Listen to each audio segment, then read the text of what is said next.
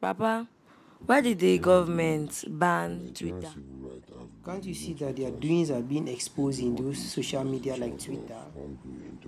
I can't wait to leave this country and travel overseas. Since you are going overseas, now let me remain you in underseas nonsense. Papa, Yes? Papa, there's something I want to tell you. Divine, what's that now? Papa, Papa, this money is crap. I leave roaming stomach. oh. And that tell you I cannot use it. So, Divine, what do you want me to do now? Eh? I wish I had a private toilet. Is that a wish? Yes. Choke!